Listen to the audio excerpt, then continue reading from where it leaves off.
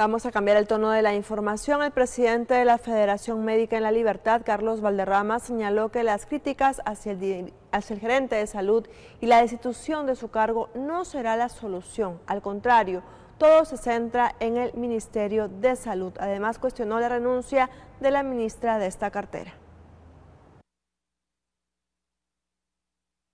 Ella encuentra una situación en que recién tiene cinco meses en la gestión. Está empezando su, sexto mes y, pienso que todavía no tenía un diagnóstico situacional. Yo lo que pienso es que eso ya, digamos, a, a, criterio de cada persona respaldó el trabajo del gerente de salud Aníbal Morillo. El presidente de la Federación Médica en la Libertad, Carlos Valderrama, señaló que las críticas hacia el funcionario y la destitución de su cargo no será la solución. Al contrario, todo se centra en el Ministerio de Salud.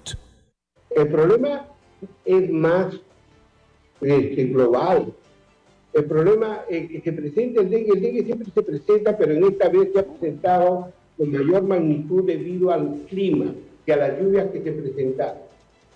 Pero esta situación es un problema, como ya creo que lo hemos discutido varias veces, este, Jonathan, es un problema más integral Nuestros medios de comunicación no informan las medidas preventivas que debe haber y que la población debe educarse.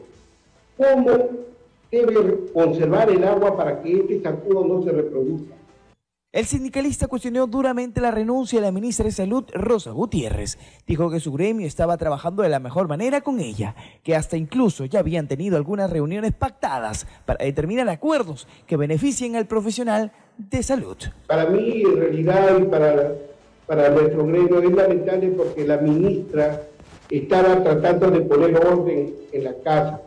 Porque, por ejemplo, ella decía que denuncien a qué red de, salud o qué gerencia regional de salud no se le había llegado presupuesto, porque acá la, la, incompetencia de los gobiernos regionales siempre dicen no hay presupuesto y ahí están los presupuestos pero como no lo saben usar, porque el gobierno actual, los gobiernos regionales, en vez de poner a las personas técnicas en cargos, este, en cargos este, muy puntuales para que dirijan la salud de los gobiernos regionales, no solamente de esta región, sino de todo el país, ponen a las personas que no tienen las competencias. Y esto lo estamos pagando, ¿no? incluso la ministra había dicho que iba a sancionar a aquellos gobiernos regionales que no estaban gastando los presupuestos, los ibas a estrenar y eso es saludable, porque ¿cuándo vamos a cambiar?